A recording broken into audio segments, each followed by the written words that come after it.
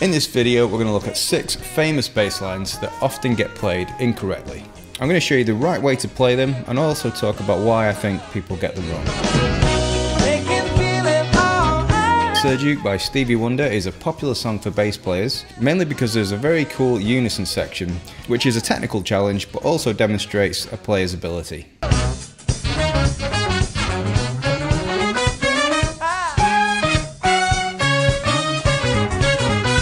However, I often see people playing it like this.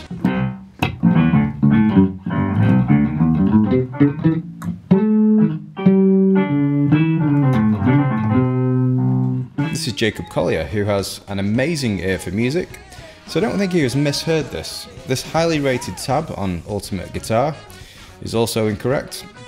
Here's how it should be played.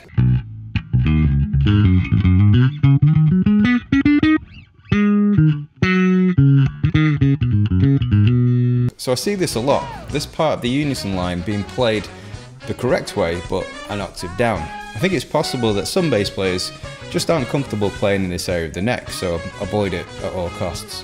But any bass with 18 frets or more can facilitate this bass line, so give it a try.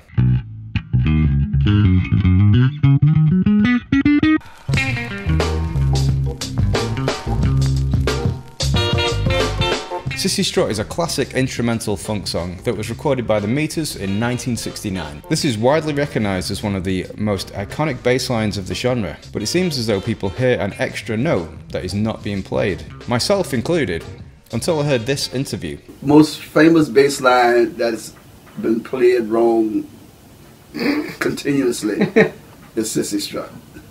And and and and, the, and, the, and the thing that that is is like it's the second lick that everyone always wants to play. Always wants to play, wants to play more notes than it is. That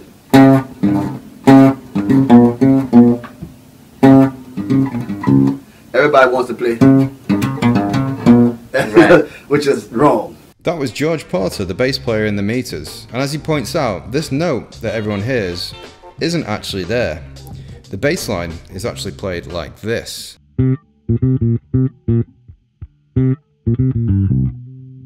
And here it is with the phantom note that people seem to hear. Sweet Home Alabama is a classic rock song recorded by Lynyrd Skynyrd in 1974.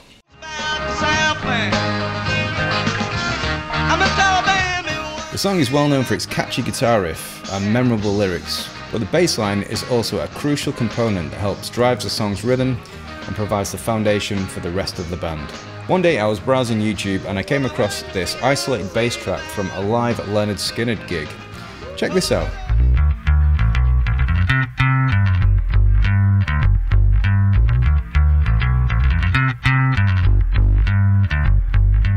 Myself and many others have played it like this.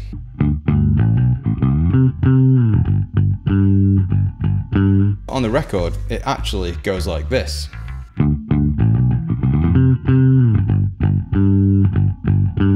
You'd be forgiven for missing this because it's buried in the mix, but now you know about it, you won't be able to unhear it.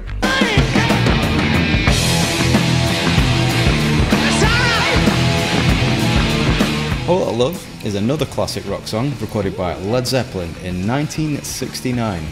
On the surface, the bass line sounds very basic.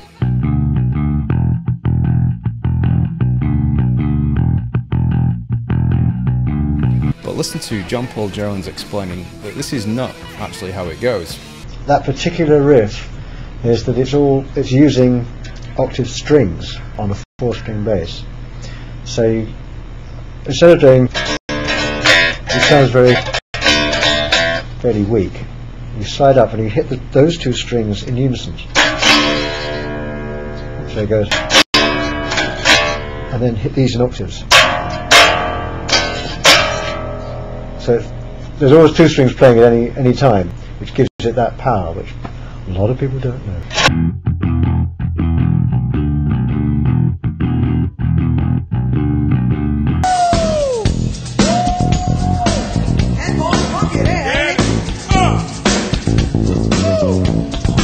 Good Times is a funk song recorded by Chic in 1979. The bass line is one of the most iconic and recognizable bass lines in popular music. Bernard Edwards was the man behind the bass, and it's played like this.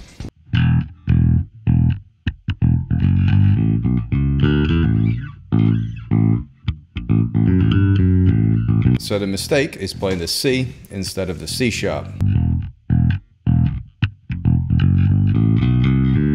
So I think the reason this mistake is made again and again is because the chords of the progression are roughly speaking E minor 7 to A dominant 7.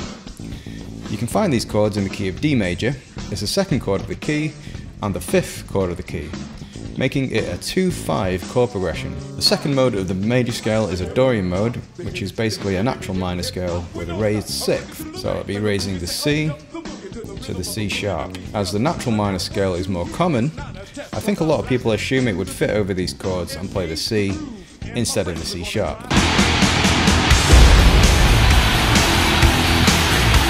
Enter Sandman is a heavy metal song recorded by Metallica in 1991. Here is the isolated bass track.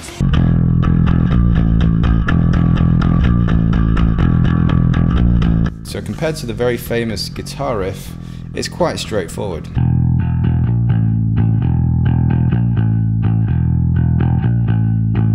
I think a lot of bass players start on guitar, learn this riff very early on, and then just transport it over to the bass guitar.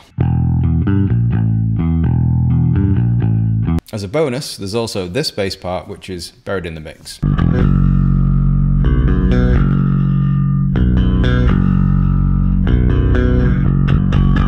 Thanks for checking out this video. If you can think of any other bass lines that people get wrong, please leave it in the comments and maybe check out some of my other videos. Cheers!